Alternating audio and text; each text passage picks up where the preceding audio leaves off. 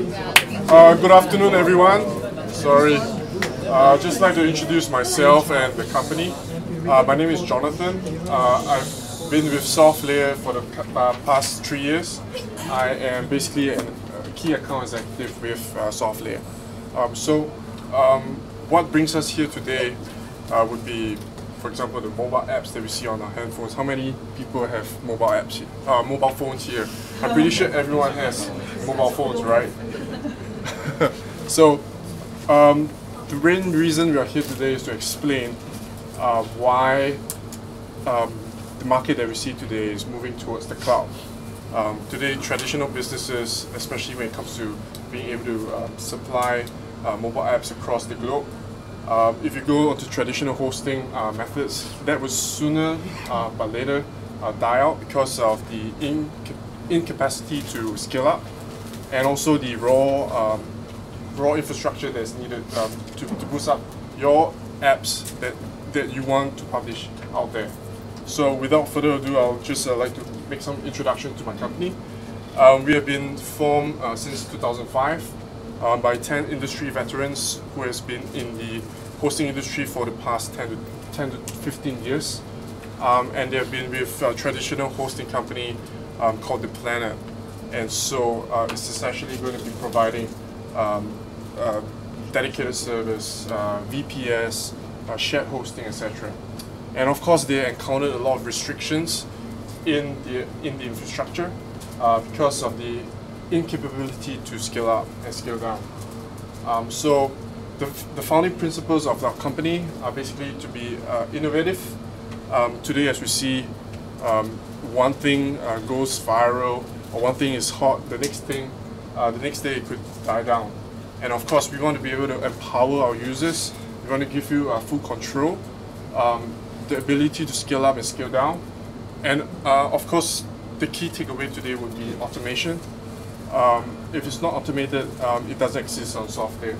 So automation is key because it um, minimizes human error, uh, it's efficient, it's quick. And last but not least, integration. We want to be providing a platform or infrastructure that you're able to integrate uh, and ease into slowly uh, without um, moving out of your comfort zone. And last but not least, we've been acquired by IBM in July 2013 uh, because of our um, technology, our IMS, uh, the infrastructure management uh, system that we have, and of course the, the infrastructure as a service that we provide. Um, so essentially what we do provide would be uh, virtual service, uh, what we call cloud, um, as well as bare metal service, uh, dedicated service, essentially they are all racked up in our data center. Um, storage as well, uh, we use iSCSI SAN uh, under the brand called NetApp. I'm not sure whether you guys have heard of NetApp. And of course, uh, virtual instances that I mentioned earlier. So put this all together, um, essentially is what uh, infrastructure that we provide out there. And of course, um, the layers that uh, combine everything together would be the network portion, as well as the data centers that we have. Uh, we have about up to 18 data centers today, and of course, we're expanding uh, rapidly as well. And we also have the infrastructure management system that I mentioned earlier. So everything is managed through the system, uh, from the dedicated servers, from the hardware, uh, from the storage system, all the way through linking up with the network as well as uh, the data center. And so this is our global presence. Um, the red dots are, not too sure whether you can see the red dots, but never mind. Um, so we have currently Singapore uh, as a HQ uh, within Asia Pac, and we have expanded to Hong Kong, and most recently Tokyo as well. Um, down in Oceania, we have uh, Melbourne, and we'll be expanding to Sydney as well. Uh, and then, of course, moving to our um, HQ uh, in the US. We have up to about 11 data centers there. Uh, we have uh, Dallas, Houston, uh, San Jose, Seattle, Washington DC, and of course in Canada we we have expanded to Toronto as well. And in Europe uh, we have London, Amsterdam, as well as Paris. So as we progress on, we'll be of course looking to expand, for example in South America, um, possibly China, etc. So today, as you can see, we have a huge presence across the globe, um, including the 20 over network POPs that we have. Um, and of course, the most important thing that I'd like to uh, highlight would be the lines that join each and every one of our data centers, as well as the POPs, uh, the network point of presence. Uh, these lines are essentially um, fibers or cables that run from uh, countries to countries. And each are going to be a dual 10 gig uh, lines. And the best thing about this, if you were to do uh, data synchronization across countries, across uh, continents, um, would be that you'll be able to use this entirely for free. So these lines essentially are going to be connecting all our data centers together and you will have a, uh, you, you, you'll be able to use this um, network uh, completely free of charge. So you can transfer your data from, for example, Singapore to Hong Kong uh, free of charge uh, via this private network that we have. So this is a really, uh, keep, really good, and I think we are the only hosting provider that, out there that has this technology so far. Uh, I'd like to bring you to a um, case study that we have. Uh, it's called Multiplay. Um, so this company has been running um, a huge number of games, up to about 60 games today. Um, they run across uh, Europe, Asia, as well as the North America. Um, and of course, they're using SoftLayer because we are able to provide the scale that they want. As you can see, this game is Battlefield uh, 4. Uh, it's going to require a lot of um, resource. It's going to be resource intensive. Uh, it's going to be a you, it accommodates up to about 100,000 peak concurrent uh, gamers. So there's a huge number of traffic coming in and going out. And so the reason why Multiplay selected SoftLayer would be uh, out, of our scale, uh, ability to scale up, and of course uh, ability to provide them the raw power that is found in bare metal service, dedicated service that we call them. And so, as you can see, yeah, I'm not sure how many of you guys have played this game. No? Okay, never mind. moving on. That's fine. Uh, moving on would be uh, Motion Elements. Um, is a local uh, local company here, uh, and they have branched out into new markets. They basically provide uh, videos, etc. Um, so they've used us because of our ability to scale. And in, in today's world, if if you have um, if you want to reach out to the mass market, um, be it your apps, I think the most important thing would be ability to scale as well as the availability to your users as well.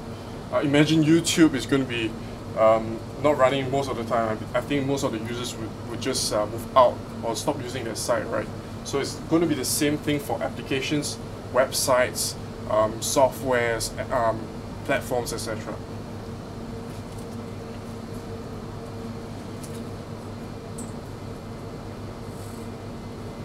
Uh, moving on to our next uh, company would be Drawing Board. Uh, so it's essentially a platform uh, based on the web. So it's going to be uh, providing you details of the events, uh, that you want to, to run, for example, the organizers that you're selecting, for example, your children parties, uh, corporate events, as well as weddings, etc. so you can come on to this website, um, key in the dates, key in the venue, etc., and get started. And so, uh, if, if you're looking today, if it had been uh, traditionally been uh, incorporated onto the existing or traditional hosting that we call, um, this would not have taken place because of um, the raw power that's needed for uh, for handling the database workloads, um, as well as the cloud environment that is flexible enough to scale up. So today is all about uh, providing the essential uh, power to run your applications, your database, as well as the ability to scale. So I, I, I, would say these two are the most uh, critical uh, factors here. Um, another one would be Grammatix here, Grammatix. Um, so it's essentially, for example, if you want to, uh, if you see some something online, and for example, this is an advert, and you, you see that you want to uh, find out what type of chair they're using. Um, so that's where Grammatix would include a link, uh, and it gives you a link to the pricing of, for example, a sofa, or a dress here, or the uh, travel destination, as well as the dress that you can see here uh, being worn by Beyonce. Um, so it, it, provides you information and where to buy um, the, the materials or the, uh, the furniture or even the uh, travel destination. Um, so they're using a lot of the raw power, so they are definitely using our bare metal service for processing high workloads. Um, so today, as we can see, there are a lot of companies out there that uh, require um, dedicated service, cloud infrastructure.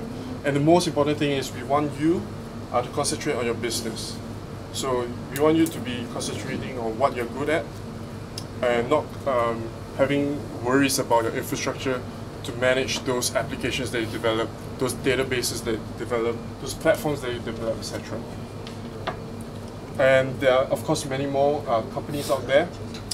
I'd just like to uh, bring attention to this company called Ambi. So Ambi Climate is a standalone plug-in, plug-and-play, um, I would say, upgrade for your air conditioners. They have, for example, you want to um, um, moderate your home temperature. Uh, back home, uh, you can use this uh, device, sync it with your iPhone or your Android Android phone, and then you can control the temperature of your air conditions at home, so that when you reach home, um, your, your your your preferred temperature is of course in place. So you don't have to uh, manually switch on your your your air conditions, etc. So up up to today, they have raised about hundred thousand. Uh, under I think Kickstarter. So, um, so of course there are many more companies that are like this, and most importantly is because of the ability to scale as well as the uh, resources that are available to them. And I'd like to uh, introduce uh, some of the customers that we have uh, using SoftLayer. I'm pretty sure many of you guys know WhatsApp. Everyone uses WhatsApp, uh, I think in Singapore, I think more or less. So uh, they have been with us for the past few years. They have up to about a thousand over servers with SoftLayer across the globe, of course. So all your data is going to be stored. Um, and if today, if WhatsApp had gone to a traditional hoster, I don't think they'd be able to handle the load uh, incoming in terms of traffic, uh, in terms of the data that is available. I mean, everyone sends out at least 100 WhatsApp a day, right? Um, so, and of course, many more uh, companies out there. Uh, we don't just specialize in mobile and communications. Uh, we have uh, software as a service partners, um, social media, uh, platform as a service, uh, even some hosting and service providers are using us. And so we, we, we see a great shift over the past coming years into the enterprise market as well. So even enterprises, big enterprises out there, MNCs, are slowly but surely moving into the cloud. Um, so I'd like to uh, move over to my demonstration. Um, one second.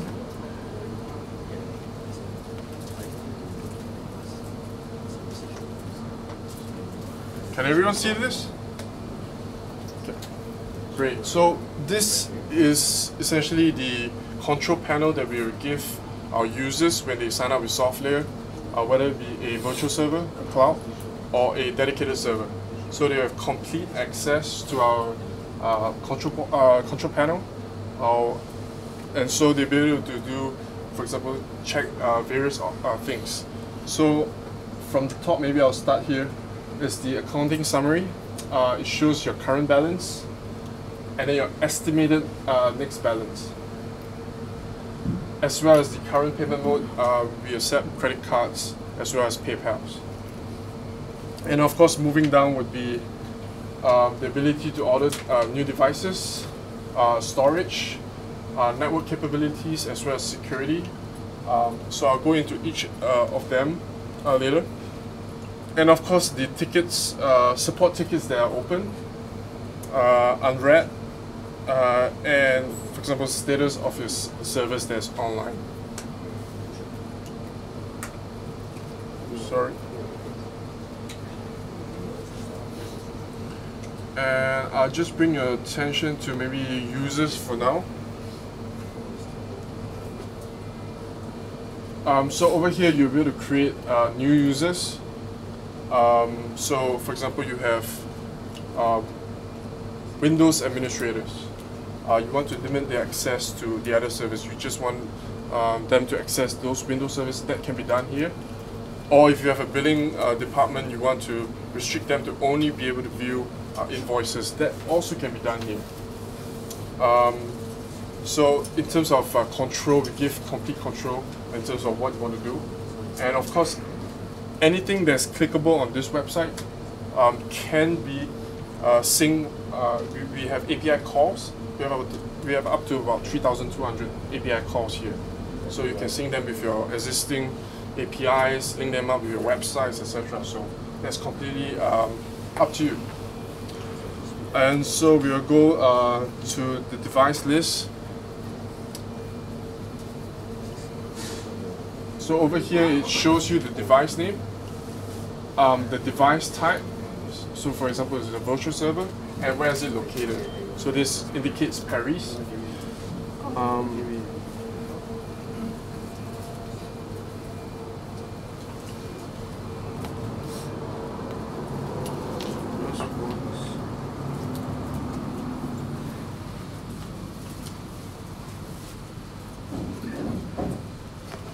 I think I see this well. Okay, anyway, it provides you also the public uh, IP address.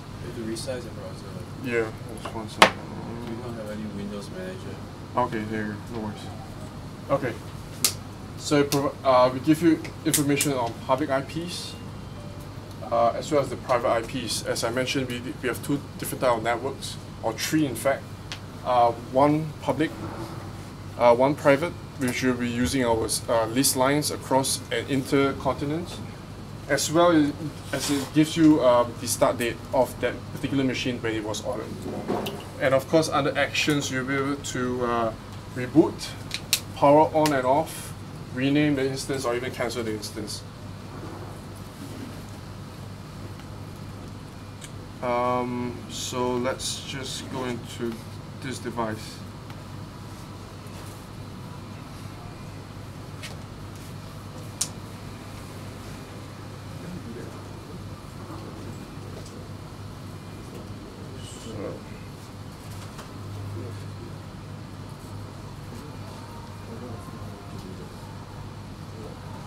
Okay, there we go. Um, so over here we give you um, information, more information actually. Um, so when was the, what's the status of the uh, virtual server? Uh, the start date, if, if it was reloaded, as well as the OS. Um, this is running a CentOS 6 LAMP stack. Um, the number, the amount of RAM on the virtual server, as well as the processor. So this is going to be a 16 core. Um, moving down would be uh, our network. As I mentioned, this is would be the public network and the pri- uh, private network. So we provide uh, public IP addresses, um, the default gateway, subnet mask, and um, this uh, port port speed that we call it. So over here we have 100 Mbps available on the on the, on the virtual server, uh, up to a I think 10 gig for for the dedicated service, and so uh, bring your attention to this uh, particular uh, selection that you can opt for. Uh, disconnected. So I mean today, if you have if you're running databases, you would most likely not want your database to be exposed to the public internet, right? So you can disconnect this, and it becomes like a private server. So it becomes only available on the private network. So it links up all your servers on the private network. So your, for example, your dedicated servers or your other virtual servers can access this machine only via the private network. So this gives you more security, um, so that your database is not exposed to the, to the public. It's not being, uh, you minimize the risk of being hacked. Um, and of course, each uh, virtual server we have allocated about five terabytes of bandwidth outgoing. Incoming traffic is going to be free. Um, for dedicated servers, it's going to be 20 terabytes of uh, bandwidth uh, outgoing. Incoming is also free. So all incoming traffic to SoftLayer's uh, servers are free. We only um, start to charge after you've exceeded the allocated bandwidth. And it's also the same for the private network. Uh, so we give you the IP address, um, the subnet mask, and even the speed. Um, also, uh, you you will be able to disconnect it if you want. So, and of course the VLANs that we that we provide. So it can be a private VLAN or a public VLAN. Um, so just bringing your attention to the next uh, options. We so under big data we have uh, Cloudera available, MongoDB, as well as the Riak uh, solutions uh, for big data. Uh, we also provide monitoring services for for, for our customers, um, standard, enterprise, premium, and of course we give you the ability to monitor different ports, uh, different applications, etc. Um, and under manage, uh, you can manage your passwords, your images that you want. For example, you want today's image uh, to be to be taken, and you just want to use it like a backup. That can be done. So you can take an image, store it, and of course, in future, if you want to uh, fall back onto the image, that's also possible. And of course, SSH keys, uh, provisioning scripts that you like to run, and of course, uh, control panels, cPanel plus, etc. And uh, of course, this uh, would be our auto scale function. Uh, when I was talking about uh, uh, scalability, I think this would be quite critical uh, because you can organize um, or you can configure your, your, your, your infrastructure once it reaches a certain threshold um, to put up new services. For example, to put up uh, a virtual server or to put up a dedicated server. That's also possible.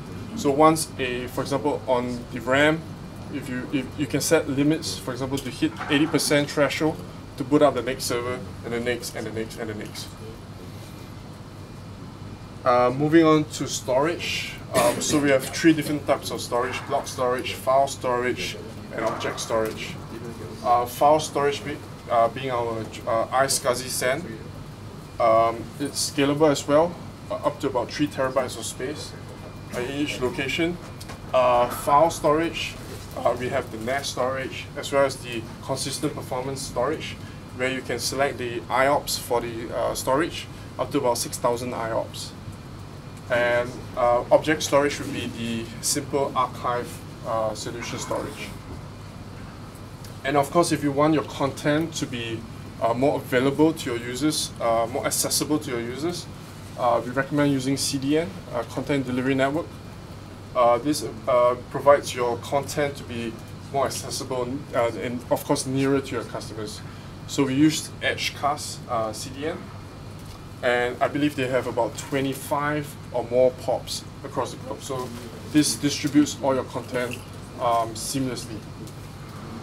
Um, and of course, data transfer, and uh, last but not least, backup. So we use eVault backup uh, for, for, for backing up your, your data or your websites, etc.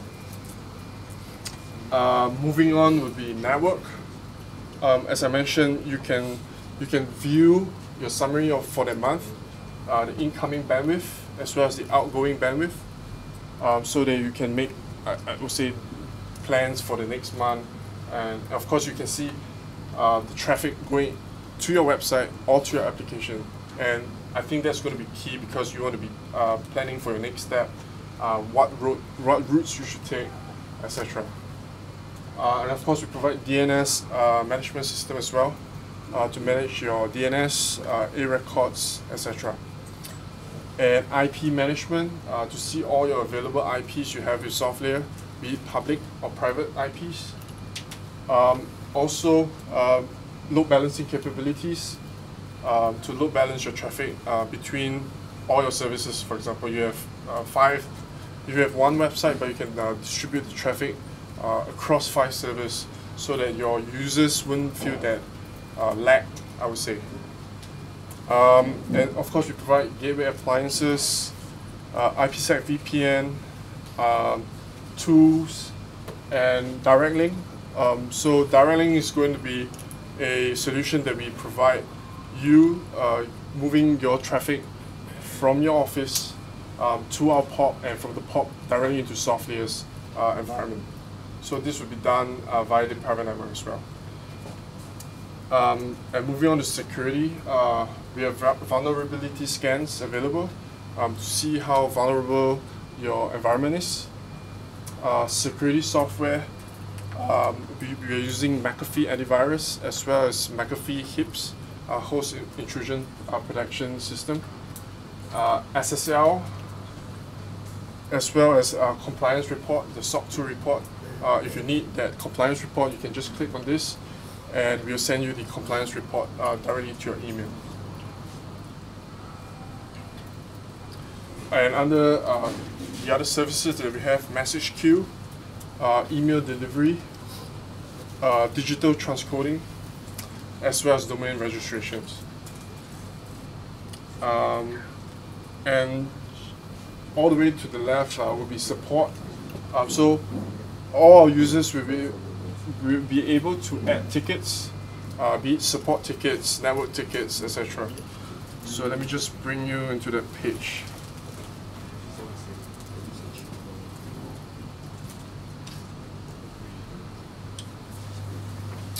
So over here, be able to uh, select the subject, um, be it, um, I would say accounting request, CDN request. So any type of uh, issues that you might have or software, you can always lodge a ticket or, or go on to our online chat that we have available on our website.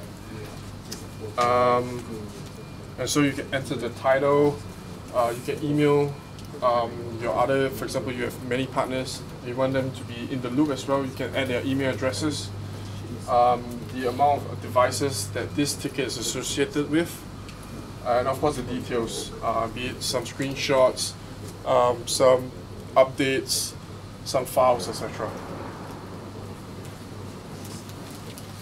And all of this uh, available, uh, I would say selections for portal can be viewed uh, by clicking this. So you can go onto this and then basically see all the options available. So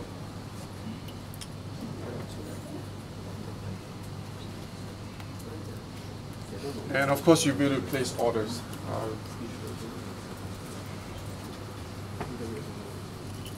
so bring uh, you onto this page. As I was uh, mentioning, you can order bare metal service by the hour, by the month. Um, virtual service as well. Uh, you'll be able to order by the hour, by the month. Um, so you can basically uh, pay as you use. Uh, if you don't need it, you can always cancel it. Um, and of course, block storage, file storage, also mentioning object storage, CDN, um, network, uh, Citrix uh, NetScaler VPX, Vyatta gateways, IPsec VPN, uh, and so on and so forth. And of course, uh, firewalls that are available, um, and FortiGate security appliance.